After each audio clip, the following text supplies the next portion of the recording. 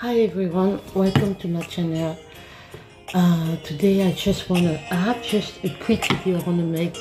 You know how talkative I can be sometimes, but anyway, I have it in my mind to make that video quickly, but I hope I'm not gonna be long. Anyway, this is the subject. Um, you know, if you remember, I, I talked to you about um, a situation when I was young that I remember I saw um, it was happening when I went uh, early in my age was uh, when I left my country well, I was probably 11 years old. Then I was very young you know there are things that you don't really see. So after that around my 12 years uh, 12 years uh, 13 years old I don't know if I, I told you I remember I saw the cultural thing, I don't know if it's cultural, but it's something that I saw in that African country, like Benin, Benin, Republic of Benin. And uh, I have to admit that uh, that practice, I don't know if it's really cultural, and I was very curious to know where it's coming from. Because um, I explained to you that um, there was a little girl who was working for my host family and as she was working she i don't know if she was paid for that work which i don't i don't think. And yeah and in africa you have to be honest on that uh, you really have to be honest on that especially the west part of africa that culture of child labor is real okay? Of child labor is real. And really it makes me a lot it makes me really uncomfortable we don't have it in my country. Uh, we don't have it but it starts spreading because when you know when people come with their culture and they live in your country for example they bring that culture in your country. And i don't know why for some reason um, people see the child labor in africa and it doesn't make people uncomfortable uh, to see that. And i told you that there was a little girl who was uh, working and she uh, was in the host family. She was doing chores that other people was do was supposed was supposed to do, uh, washing the dishes. I mean, when I talk about the dishes, it's not small dishes. It's like you have a complete family of children, mother, father. Sometimes you have guests. Sometimes you have, you know.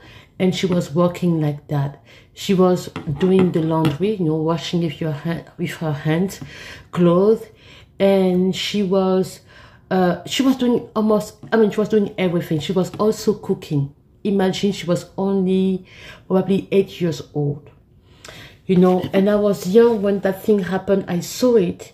And i'm telling you it really marked me. I don't know if my brother saw it in a way that i saw it but it, it really marked me a lot. And i remember one day i told you in my previous video that one day that girl was sitting on the uh, next to the wall. There was a school next to the wall because i wasn't staying there every time because i was going to the dormitory.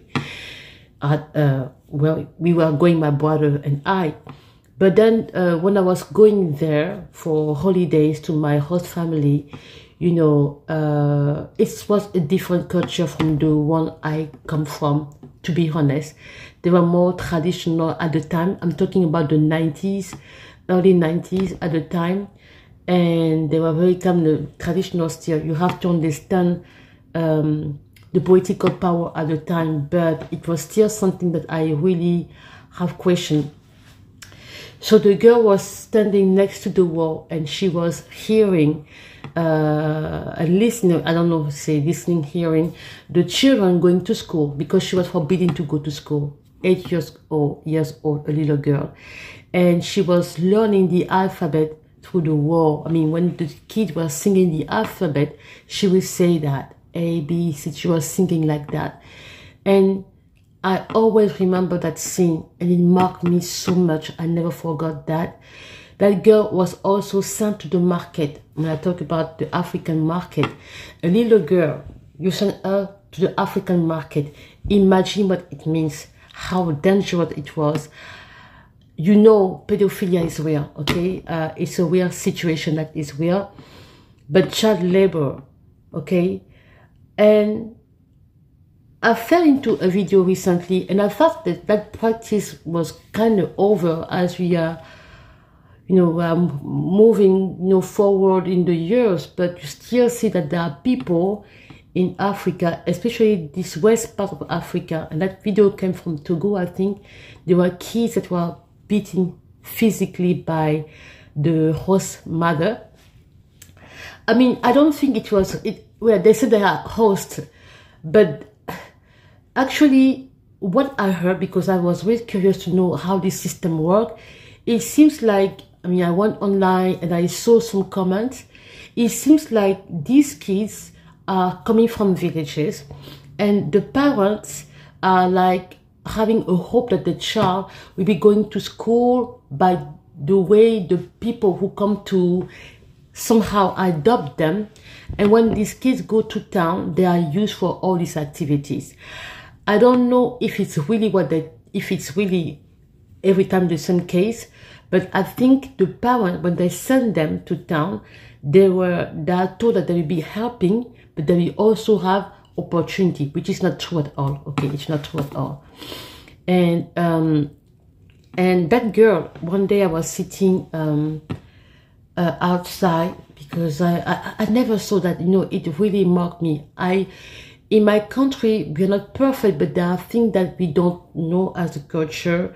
I will say we were we in the 90s we are already kind of liberal in a way. There are things that we don't we didn't know. And i remember that when the the people of the countries like that were coming into my country and they were still practicing their culture i don't know if it's very a part of that culture but it seems like it's somehow a part of this culture or that culture. And, and yeah and um and i saw her. She was uh, washing her clothes, okay?